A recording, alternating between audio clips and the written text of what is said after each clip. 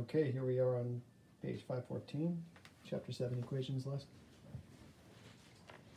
All right. Key point to this lesson.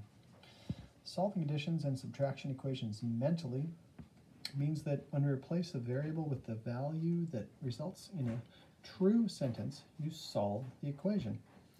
That value for the variable is the solution of the equation. So for example, 2 plus x equals 9. The value for the variable that results in a true sentence is 7. So 7 is the solution. If you add 2 plus 7,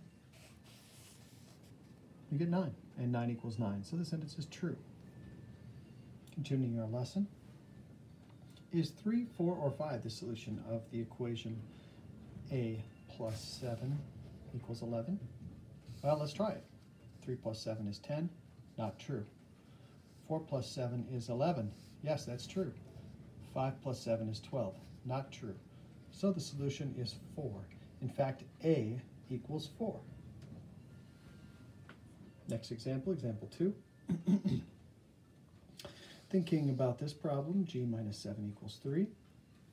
Well, we know that g minus 7 equals 3. Some number, g minus 7, has to be 3. We know that there's a number that subtracting 7 from will give us the result 3, and that number is 10. So 10 is g. g equals 10.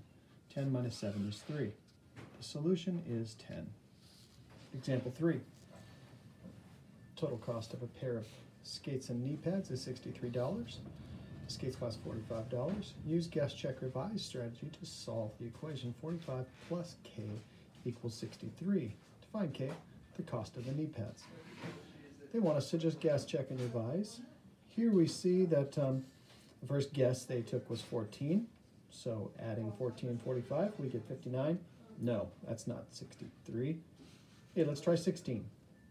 Well, 45 plus 16 is 61. We're getting pretty close. Bump up a couple. Sure enough, 45 plus 18 is 63.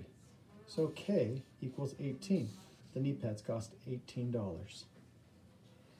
Sliding over to the top of the next page. Solving division. Oops, my bad. There's the got it. You try this got it. Pause the video and try this got it now.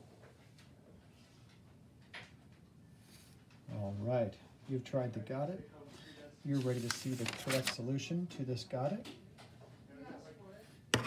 Here are the answers. C is equal to 5 because 5 plus 8 equals 13. In B, x is equal to 7 because 9 minus 7 equals 2. And the difference between the speed of an ostrich and the speed of a chicken is 9 miles per hour.